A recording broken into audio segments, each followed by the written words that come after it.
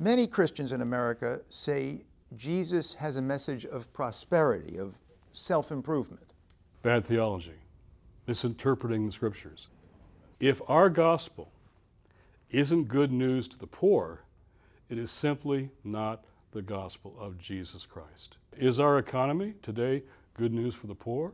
The economy is for more and more the very top, the very few, and the middle are all very insecure. And half of God's children, half the world's people, are left behind by the economy. That's unacceptable to Pope Francis because Jesus wouldn't have accepted that either. Hasn't capitalism delivered more people from poverty than any system ever? He's saying wealth should serve and not rule. So, an economy that is inclusive and not exclusive is what he's calling for. Uh, no one's against economy. To be against economy is to be against conversation, right? How does an economy work? Does it include all of us, especially those who are at the bottom? And how can an economy not destroy God's creation? But the argument is trickle down. That is, rich people, because they're more productive, will have more money, then they'll invest it and create jobs. Well, it's a lovely theory, but it isn't happening. The wealth of this economy, by all the data, is going up and up and up. The people who are benefiting the most are those already at the top. Those at the bottom are, are more and more excluded, and those in the middle are more and more insecure. The Pope said in his Joy of the Gospel uh, that that trickle down economy isn't working for the poor.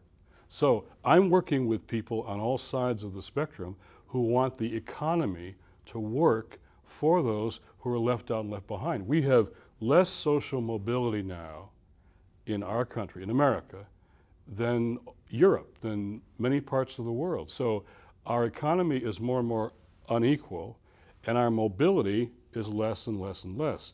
It's becoming a caste system. God's economy is very simple.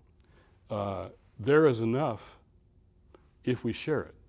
It's really as simple as that. Sounds great, idealistic, but isn't economics as a discipline tough minded, hard hearted? This isn't some utopian system. This is about making things more fair and more just, which we can do, have done before, and should do again. We're going the wrong way now. We're moving in the wrong direction. The Pope is saying this doesn't really uh, resonate with the gospel. In fact, the gospel says you evaluate the economy by how it treats those who are poorest and most vulnerable. That's not what you hear in Washington. But the encyclical is an actual critique of modern day economics. Where does the Pope have standing to issue a critique about economics? New Testament, one of every 16 verses is about the poor. In the Gospels, one of every seven uh, is about the poor. In Luke, in that gospel, one of every five, the prophets are clear beginning to end. It's how we treat the most vulnerable. And Jesus says, you either serve God or mammon. That's pretty radical. Mammon means money. You serve God or you serve money. So everyone doing business has to ask, am I serving God or serving money? That's economics. It's right there in the scriptures. Prominent politicians, American conservative Catholics, have said the Pope really shouldn't be talking about economics.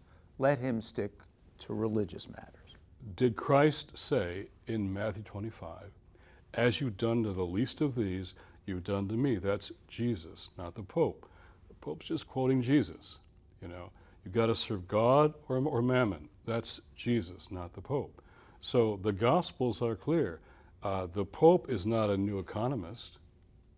The Pope is just the vicar of Christ, reminding us what the Gospel says about lots of things, including the economy. An economy of exclusion is against the gospel of Christ. An economy that values the rich over the poor is against the economy of Christ. So Christians have to do with Christ what God says. 2,000 verses in the Bible about the poor.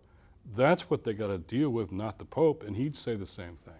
He's not the issue, Christ is.